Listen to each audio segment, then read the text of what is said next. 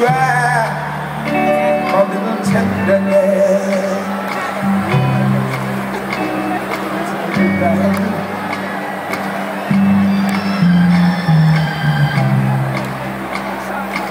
It's not just sentimental, no, no, no. She had her grief.